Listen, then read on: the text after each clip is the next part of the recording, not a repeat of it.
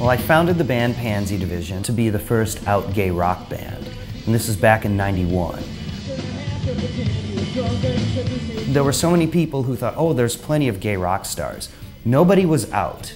Uh, it seemed like you could do anything in pop music except be gay.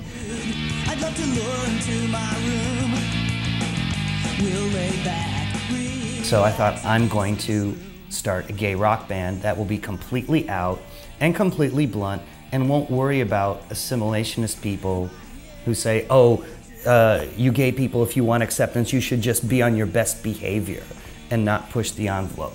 We push the envelope.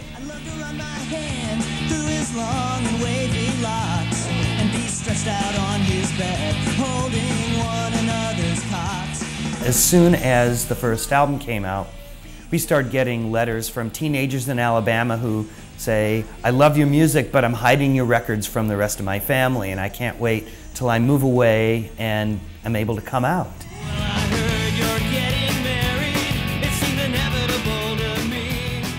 I tend to listen to KALW when I'm in my kitchen. Uh, my favorite shows uh, include Le Show with Harry Shearer, Sound Opinions, The Rock Critics Show, This American Life. I'll listen to Fresh Air on KALW too. I like a lot of the local shows, like Out in the Bay, Cross Currents, Your Call with Rose Aguilar. I like the combination of the national shows and the local shows.